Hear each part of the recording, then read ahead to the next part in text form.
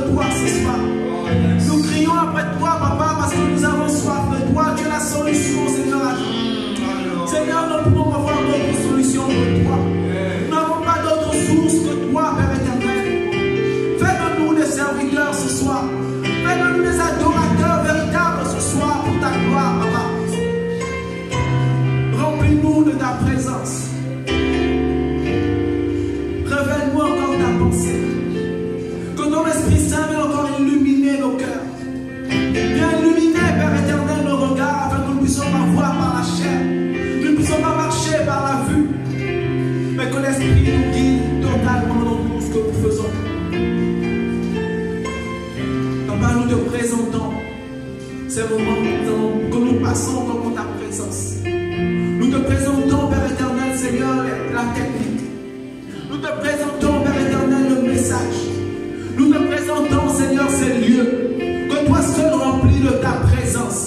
Que toi seul remplis, Père éternel, Seigneur, au nom de Jésus, de ta lumière, de ton éclat. Nous voulons nous rapprocher de toi. Comme Moïse s'est approché de toi, il n'a pas remarqué que son visage était rempli de lumière. Ce soir, nous voulons, Seigneur, être remplis de toi. Inonde-nous ce soir, Papa. Nous avons besoin de toi. Nous avons besoin de toi, Père éternel. Agis pleinement, Seigneur. Remplis-nous de toi ce soir. Remplis-nous totalement, remplis nos cœurs de ta présence. Au nom de Jésus-Christ. Merci encore, Père. Amen. Nous bénissons encore le Seigneur.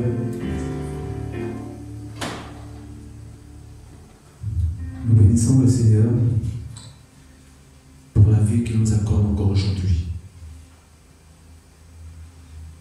Pour la santé qu'il nous donne. Pour la paix, la joie, le bonheur. Pour sacrifice à la croix. Merci, Papa. Ce soir, je rendre encore grâce au Seigneur pour la vie de son serviteur, pour la vie du groupe pastoral. Parce que sans eux, nous ne serons pas là ce soir. C'est parce qu'ils nous accordent le privilège d'être là que nous sommes là. Parce que Dieu a déversé en eux une vérité transmettent chaque jour afin que nous puissions être affranchis et nous rapprocher encore plus du trône de gloire. Amen. Je bénis Dieu pour mon épouse et pour toute ma famille. Je rends grâce à Dieu pour la vie de mes frères et sœurs, pour la louange, pour l'adoration. Je rends grâce à Dieu pour ma nation. Je rends grâce à Dieu pour mes autorités. Je rends grâce à Dieu pour ce lieu. Parce que ce lieu est bon. Ce lieu est rempli de sa présence. Amen. Ce soir, dans notre journée de victoire, nous aurons comme thème comment avoir accès au Père. Comme le pasteur le dit souvent, nous ne venons pas pour obtenir la victoire. Mais nous venons encore acquérir, encore recevoir un moyen de vivre dans la victoire.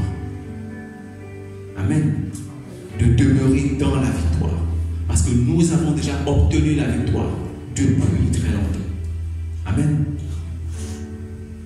Comme je disais, le thème de ce soir, de notre jeudi de victoire, c'est comment avoir accès au Père. Amen. Que nous dit la parole de Dieu? Le verset de base qui est Hébreu 9, 7. Dans la seconde, on parle du tabernacle. Le grand prêtre est le seul à pénétrer, et cela une seule fois par an. On nous parle du lieu très saint, du lieu saint des saints. Or, il ne peut y entrer sans apporter le sang de sacrifice qu'il offre pour lui, même et pour les fautes que le peuple a commises par ignorance. Amen.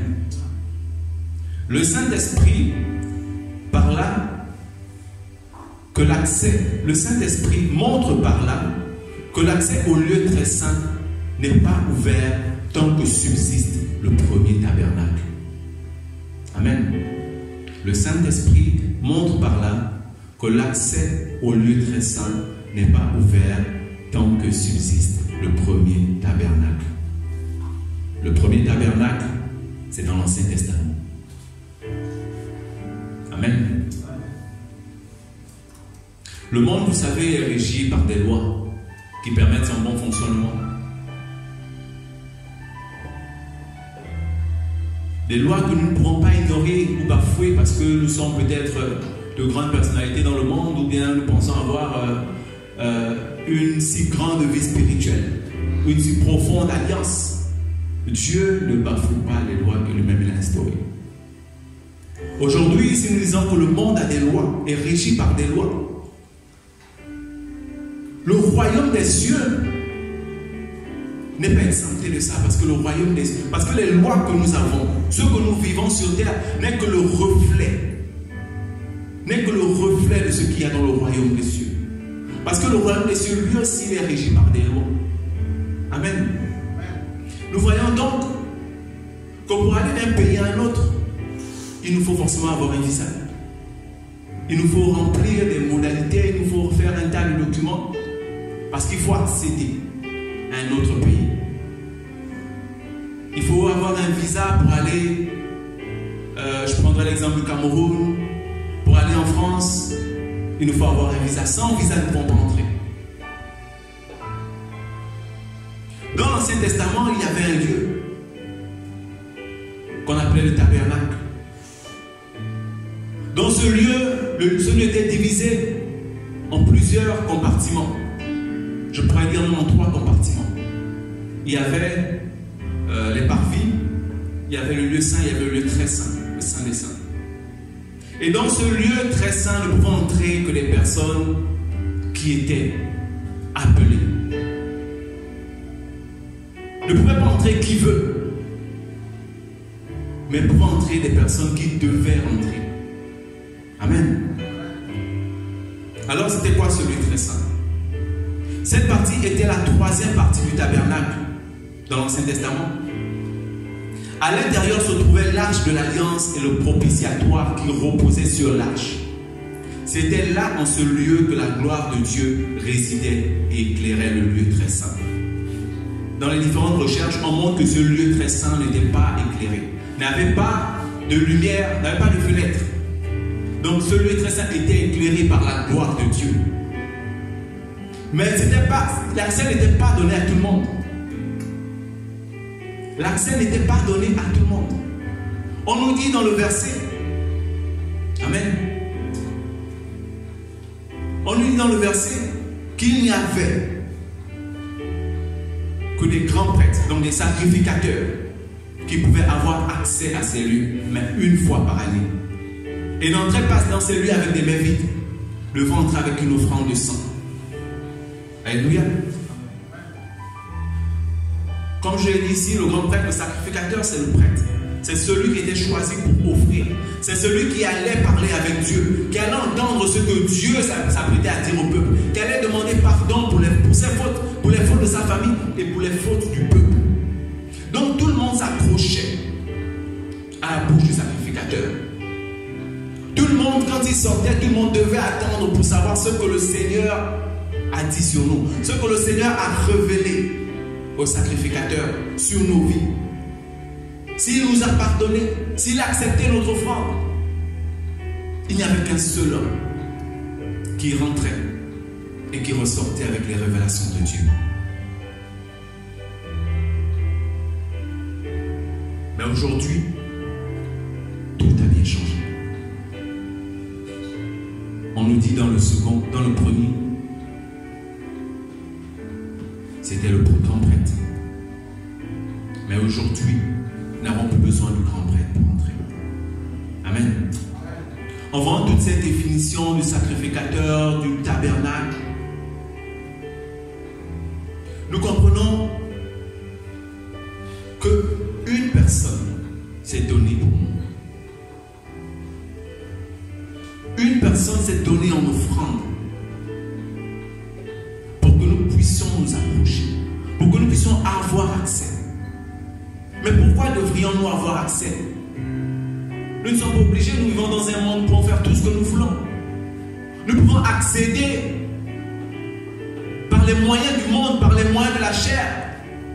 tout ce que nous voulons, à toutes les échelles de ce monde.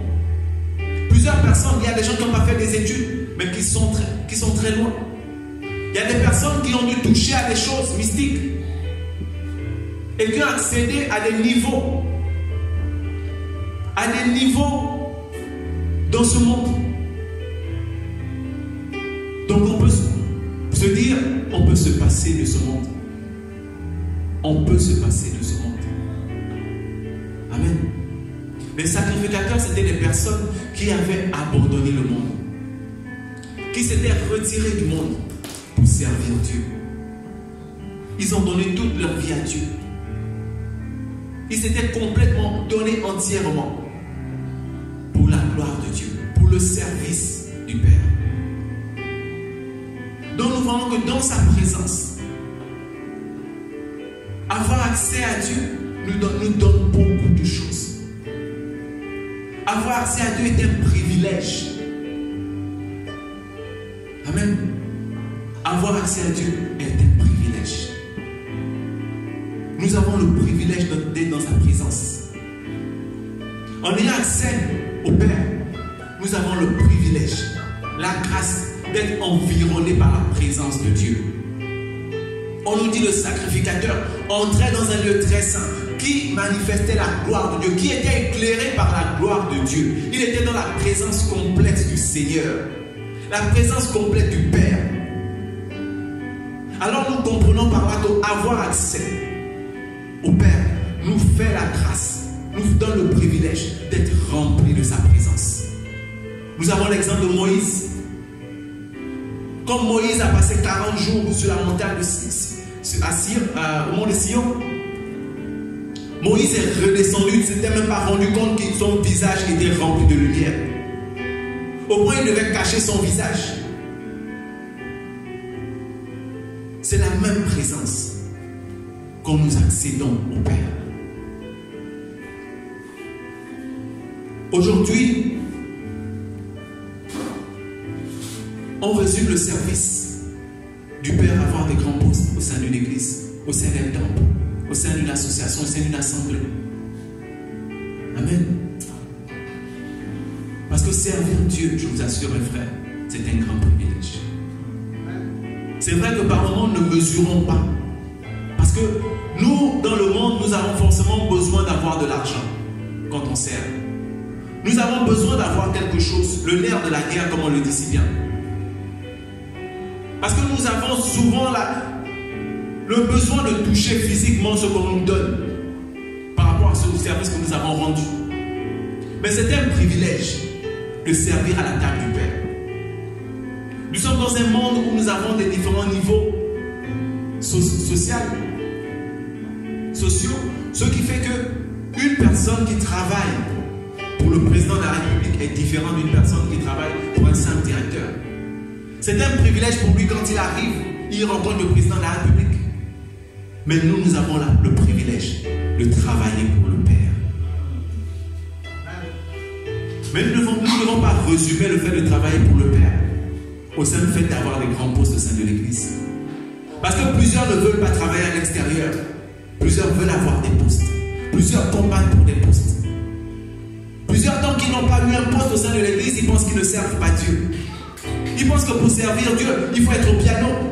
Pour servir Dieu, il faut être sur la chair. Servir Dieu, il faut être vu. Mais même à l'extérieur, avec un râteau, nous servons Dieu. Le service de Dieu ne se résume pas à être sur la chair.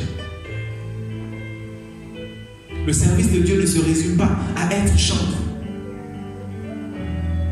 à être assistant pasteur, à être responsable de tel ou tel secteur. Le service de Dieu, c'est dans tout ce que nous faisons pour lui. Sans rien attendre en retour. Juste pour lui. Juste pour sa gloire. Amen.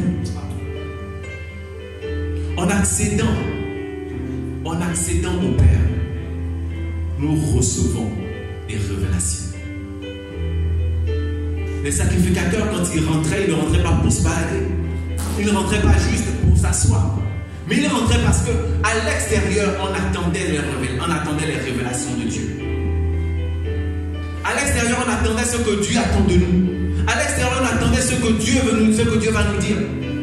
À l'extérieur, on attendait tellement.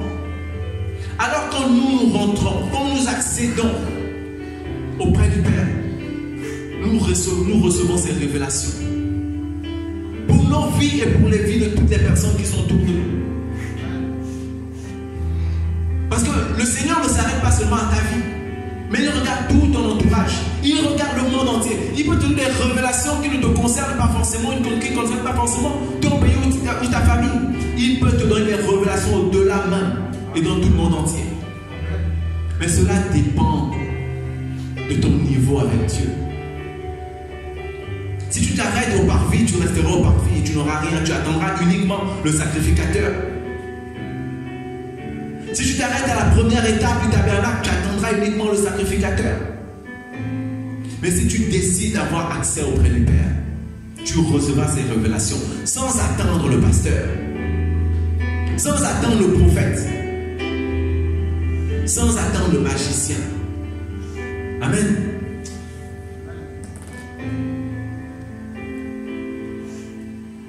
L'accès auprès du Père nous permet de nous sanctifier. Quand nous sommes dans la présence du Père, quand nous avons accès au Père, plus rien n'a d'importance. Les choses du monde n'ont plus d'importance. Ma chair ne parle plus. Je suis face à mon Père. Qu'est-ce qui peut encore m'inquiéter? Qu'est-ce qui peut aujourd'hui m'inquiéter? Je suis en face de mon Père. Amen. Il n'y a rien de plus important quand nous sommes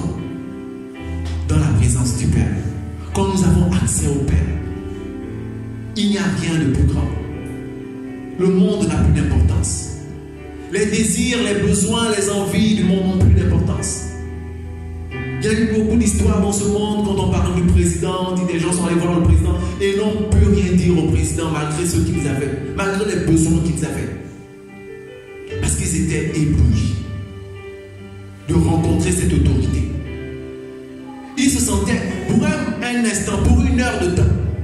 Ils étaient dans un prestige tellement élevé. Ils étaient tellement dans le luxe. Mais imaginez-vous quand nous nous rapprochons du Père, nous avons la paix, nous avons l'assurance. Nous avons une présence tellement forte que plus rien n'a de l'importance. Amen. Nous devons, nous devons chaque jour,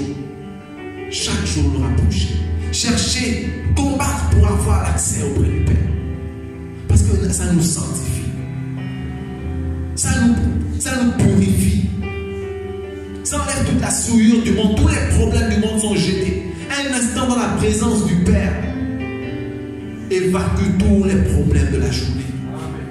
évacue tous les problèmes de la vie. Amen. L'accès auprès du Père nous accorde la sécurité. Personne ne peut être dans, le, dans- la présidence de la République et craindre un marqueur ou un voleur. Parce que toute la présidence, tout le palais est entouré par des gardes. Qui peut craindre quand il est auprès du Père, quand il est auprès du président? Qu'un voleur entrera, qu'une personne entrera pour fusiller ou pour faire quoi que ce soit, ou pour dérober ou pour braquer Personne. Ou pour le tuer. Parce que nous croyons que nous sommes auprès d'une autorité et que cette autorité a mis un dispositif de sécurité. Mais quand nous sommes dans la présence du Père,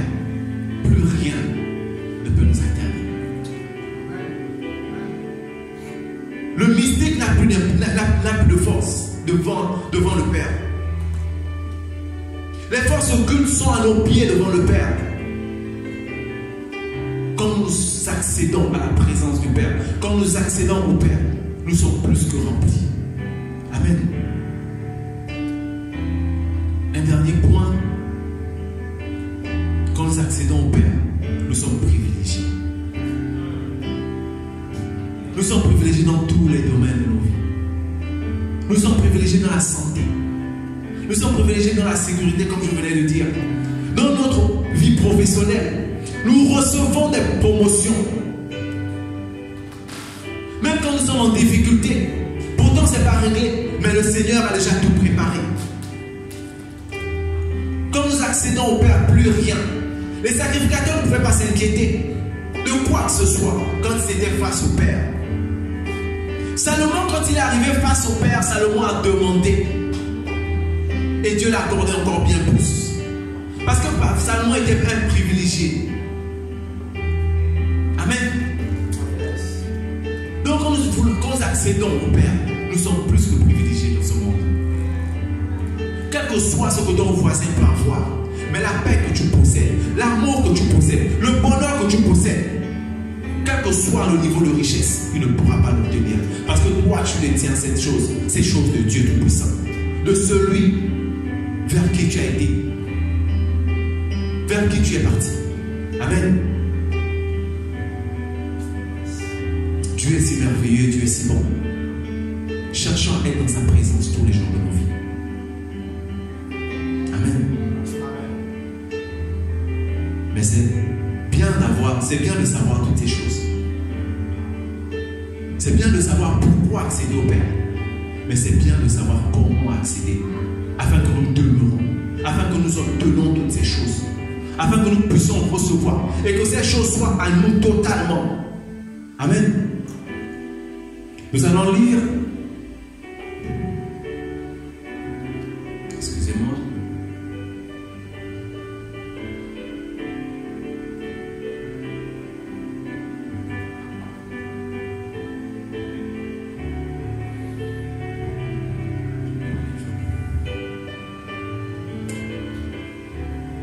Lisant plus haut, nous voyons que dans l'Ancien Testament, le sacrificateur était le seul à avoir accès au lieu très saint, une fois par an. Mais nous savons que là, à la croix, un homme s'est donné. Amen. Nous savons qu'à la croix, un homme s'est donné pour nous en faisant le sacrifice de sa vie. Jésus a fait le sacrifice ultime en déchirant le voile. Seule personne. C'était le sacrificateur. Le grand prêtre qui devait rentrer. Mais par le sacrifice de Jésus-Christ, par le sacrifice de Jésus-Christ, nous sommes tous devenus sacrificateurs. Jésus, en donnant sa vie, s'est totalement donné en offrande. Le grand prêtre qui rentrait dans le lieu très saint avec une offrande de sang, Jésus lui-même était le grand prêtre. Et lui-même, il s'est donné totalement au sacrifice. Lui-même a fait couler son sang sur la croix de Golgotha pour nous donner accès auprès du Père. Amen.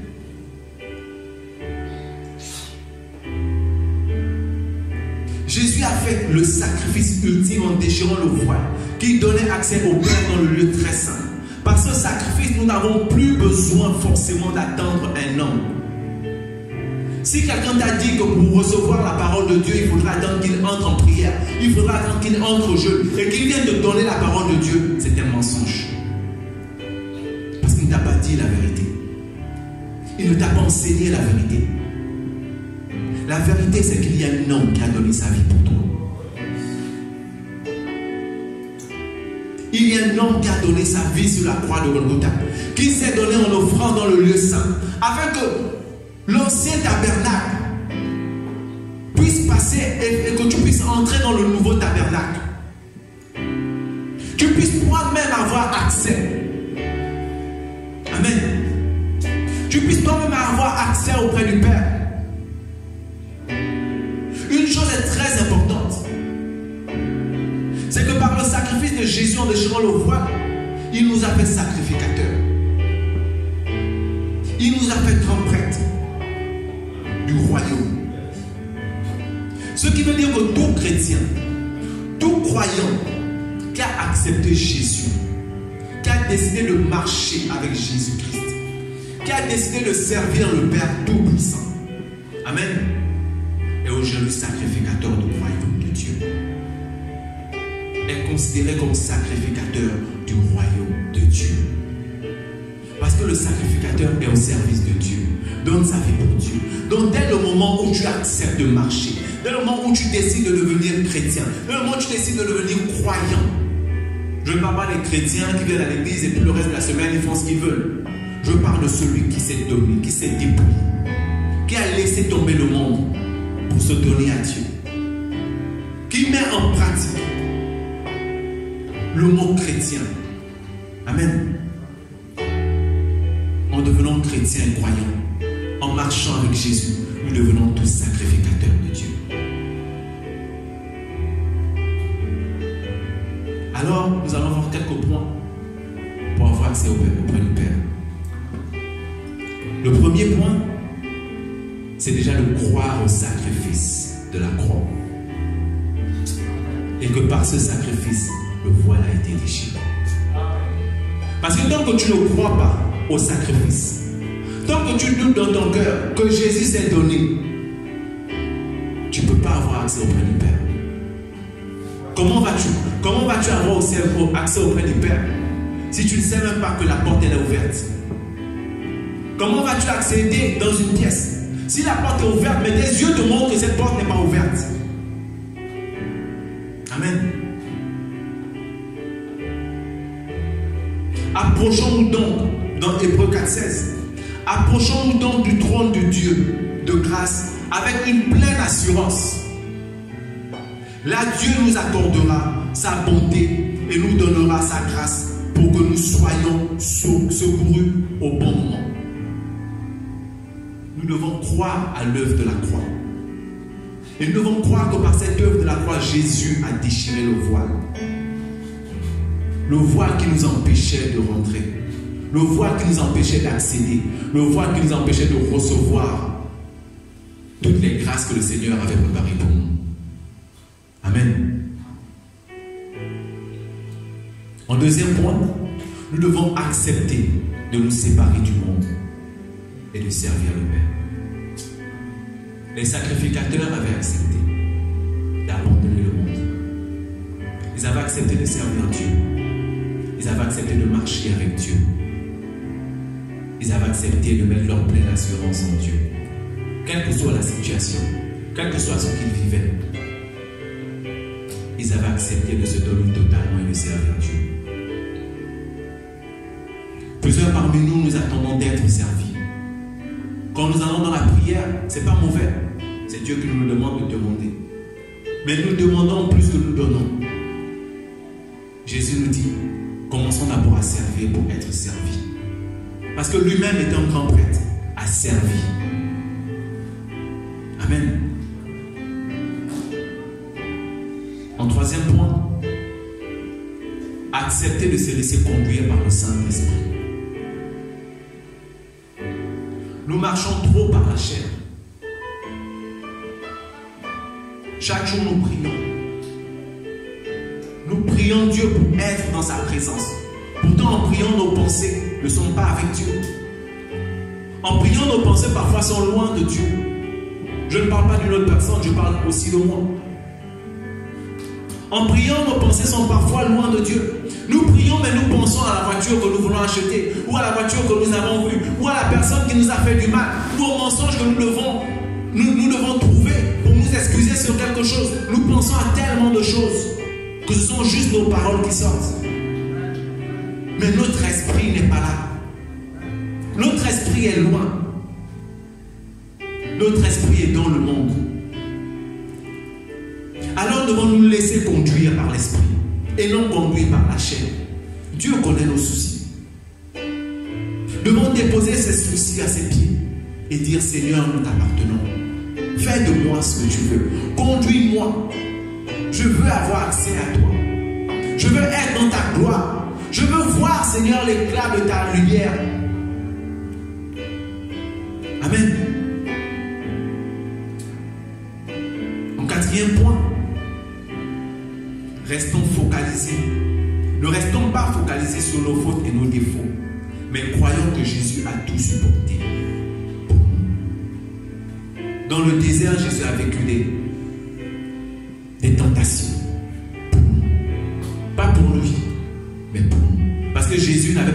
le temps. Jésus n'avait pas besoin de faire un examen. Il n'avait pas, forcément- il n'avait pas besoin de passer un examen dans le désert. Mais Jésus l'a fait pour nous. Afin que quand la tentation arrive, nous puissions avoir la victoire. Et même quand nous tombons, de ne pas regarder à nos fautes. Amen. Hébreu 4.15 nous dit, en effet, nous n'avons pas un grand prêtre qui serait incapable de combattre à nos faiblesses. Au contraire, il a été tenté, en tout point comme nous le sommes, mais sans commettre le péché. Amen. Restons focalisés sur Dieu et non sur nos défauts et nos fautes, non sur nos péchés. Parce que l'ennemi vient toujours pour nous rappeler ses péchés. Amen.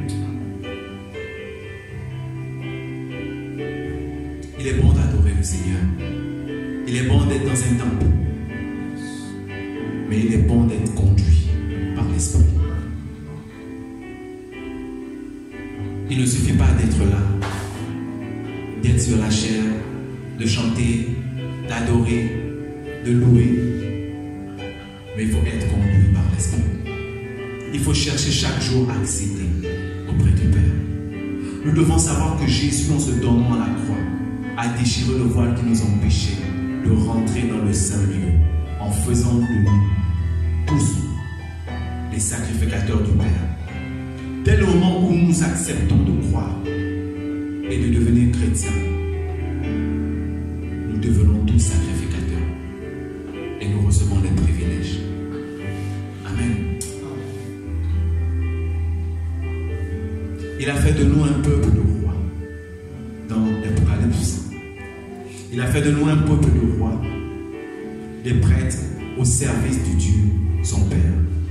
donc soit la gloire et le pouvoir pour l'éternité. Amen. Nous allons prier. Père éternel, nous te bénissons de ces paroles, de ce message. Seigneur, c'est toi qui nous as remplis ce soir. C'est ton Esprit Saint, Seigneur, qui a environné ces lieux, qui a environné nos maisons, qui a environné les lieux dans lesquels nous nous trouvons, Père éternel. C'est pourquoi, Seigneur, nous te bénissons encore, Seigneur. Nous te bénissons, Seigneur, pour l'intelligence que tu as encore renouvelée en nous ce soir. Pour les âmes que tu as encore déposées en nous ce soir. Seigneur, nous venons devant toi tels que nous sommes, Seigneur. Parce que nous voulons accéder, Seigneur, auprès de toi. Nous voulons recevoir ce que tu as préparé pour nous. Seigneur, nous ne voulons plus attendre d'un homme, Seigneur. Mais nous voulons, Seigneur, être en contact total avec toi et direct avec toi. Parce que Jésus n'est pas mort en vain. Jésus est mort pour moi, Seigneur. Jésus est mort pour mon frère. Jésus est mort pour ma soeur. Jésus est mort pour mon père et pour ma mère et pour toutes les personnes, Seigneur, qui l'ont cru Nous te donnons nos vies. Ce soir, nous nous confions à toi. Ce soir, nous nous abandonnons à toi. Afin que toi seul prenne le contrôle. Afin que nous soyons conduits par l'Esprit Saint. Seigneur, nous voulons te servir toute notre vie, Seigneur. Nous voulons, Seigneur, te donner nos vies en offrande, Seigneur. Comme Jésus s'est donné à toi. Merci, Père éternel, pour ta présence en ces lieux. Merci, Père éternel, pour ta présence dans nos familles. Merci toutes les personnes que tu as délivrées ce soir au nom de Jésus. Merci pour ce que tu as encore accompli Seigneur. Merci pour l'œuvre de la croix. Merci pour le voile qui a été déchiré. Merci pour l'esprit qui nous conduit.